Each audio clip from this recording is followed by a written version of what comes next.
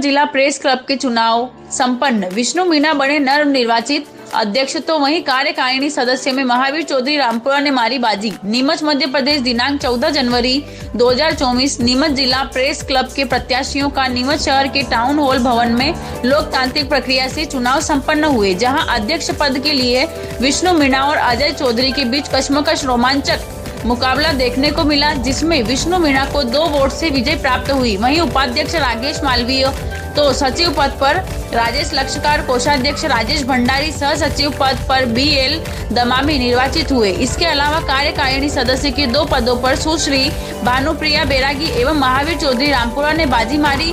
चुनाव प्रक्रिया सुबह 11 बजे शुरू हुई तो शाम 5 बजे तक चली। मतदान के लिए कुल एक पंजीकृत सदस्य थे, जहाँ निर्धारित समय तक एक सौ बहत्तर सदस्यों ने मतदान किया। मतदान की गणना सभी सदस्यों के सामने शांतिपूर्ण तरीके से संपन्न हुई।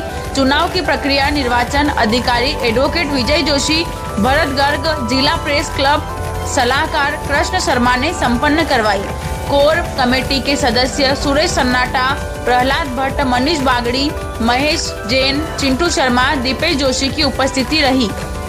उक्त कार्यक्रम का संचालन महेश जैन ने किया। वहीं आभार हेमेंद्र शर्मा ने माना।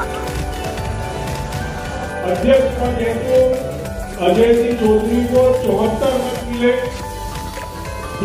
व्यास को चार मत मिले विष्णु जी मीणा को छिहत्तर मत मिले